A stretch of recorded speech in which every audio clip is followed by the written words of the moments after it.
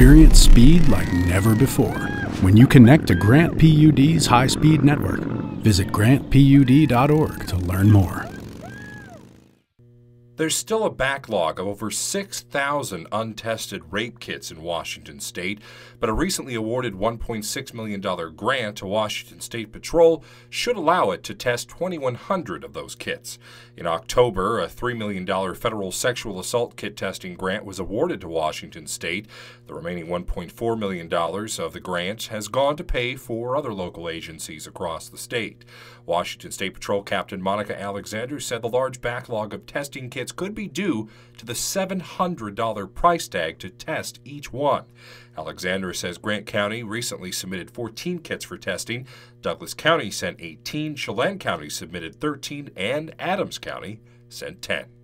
I'm Sean Goggins for iFiber One News.